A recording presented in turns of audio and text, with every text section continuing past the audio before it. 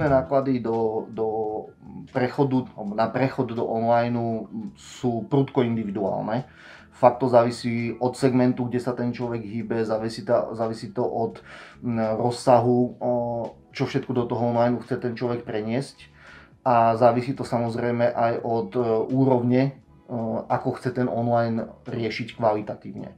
Um, pokiaľ by sme sa bavili o nejakých konkrétnych modeloch, tak uh, máme tu napríklad model malého pekára, ktorý má 20 produktov, chce si urobiť e-shop. Ten e-shop si môže riešiť po vlastnej linke cez nejaké krabicové riešenie, môže ho dať urobiť externému dodávateľovi a ten dodávateľ sa môže členiť na ďalších 15-30 skupín, čiže tam je to naozaj individuálne. Ja vždy v tomto smere radím ľuďom, aby si našli konzultanta. Fakt je, že všetci rozumejú online a rovnako ako všetci na Slovensku rozumejú hokeju, preto to tak vyzerá. Takže ja si myslím, že ten konzultant za veľmi dobre investované peniaze dokáže upratať ten online na akejkoľvek úrovni. Či sa to bavíme o, o, o, o úplne jednoduchom biznise na úrovni možno kozmetiky alebo, alebo nejakého kaderníctva a online rezervácií. Aj tam vie ten človek poradiť, teda mal by vedieť poradiť ale bavíme sa o poradenstve, nebavíme sa o tom, že to naozaj aj reálne exekuje. Hej.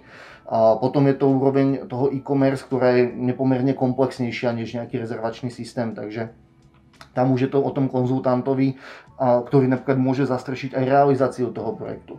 Alebo keď, zase, keď ten človek si to chce riešiť sám po vlastnej linke a ten online má strašne veľa špecifik, ktoré je fajn, ak vám niekto povie, že existujú pretože potom na nich prichádzate už keď je to živé a to nie je vždy dobrá cesta.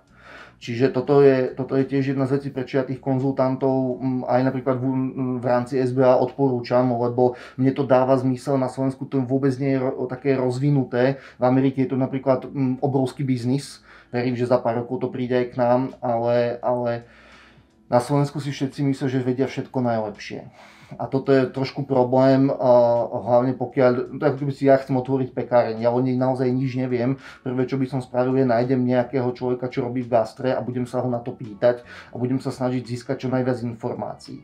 V súčasnej situácii nikto nemá čas. Všetci hráme o život na nejakej úrovni, Čiže v tomto smere, čo sa týka tých nákladov, je to naozaj veľmi individuálne. A my to zvykneme robiť tak, ak sa človek pýta, že aké náklady na to bude mať, tak my, my to zvykneme vlastne odvíjať od, toho, od tej analýzy, od tých vstupných dát, ktoré ten človek do toho dá. Mm, ono to znie strašne tak technologicky všetky tie vstupné dáta a pritom je to len vlastne A4 spísaných vecí, ktoré ten človek reálne tak či tak robí. On mu nikdy nikto nepovedal, že napíš to na papier. A veľmi často sa deje, že ani on ich na ten papier nepíše, ale píšeme to my na miesto neho a keď s ním sedíme a debatujeme, čo v súčasnej situácii nie je úplne uh, možné, ale, ale stále to funguje. A, a zrazu ten človek na tom papieri zistí, že ale veď toto môžem škrtnúť, toto môžem škrtnúť, toto môžem škrtnúť a toto, toto a toto môžem pridať. Je to iné, ako keď si to nosíte v hlave. Je to veľmi iné. Naozaj úplne odlišné. Uh, tie náklady sa dajú, dajú zadefinovať na úrovni uh, jednotiek eur mesačne, dajme tomu, až po nekonečno. Hej. Ak sa tu bavíme o nejakom um, maličkom e-shope s pár produktami, cez čo chcem predávať, tak uh, úplne bez problémov si viete využiť akúkoľvek krabicu, ktorých je um, na Slovensku niekoľko. Tie krabicové riešenia znamenajú v praxi to, že ten systém zoberiete, nahádžete do ňoho nejakých pár informácií, pustíte to von. Nie, nie je to žiadna veľká veda, zvládne to naozaj aj bežný človek, ktorý, dajme tomu, s tým nikdy nemal skúsenosť. Mm, pokiaľ to chcete samozrejme dať do nejakej inej kvalitatívnej úrovne, tak tam už sa bavíme o úplne iných veciach.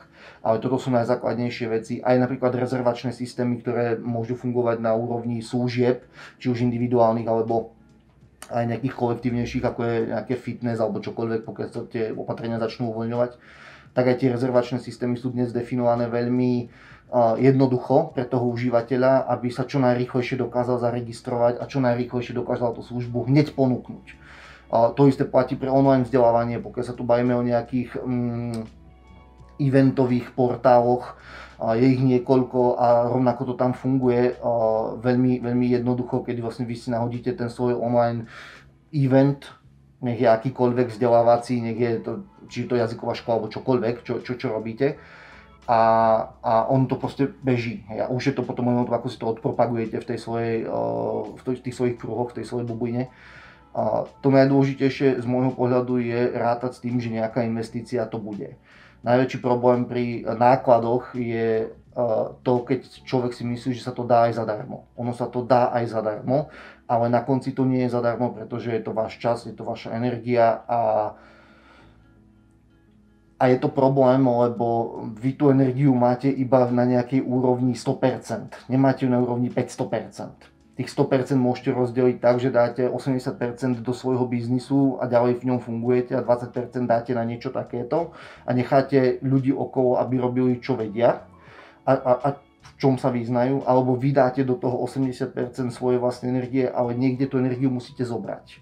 Ja, toto ja zvyknem hovoriť tým ľuďom, aby si toto upratali vlastne ešte na začiatku, že OK, idem do toho sám, všetko si riešim sám, som si vedomý toho, že budem musieť obetovať týždeň, dva života na to, aby som to rozbehol v tom online. To je úplne jedno, či to je facebooková stránka alebo, alebo e-shop.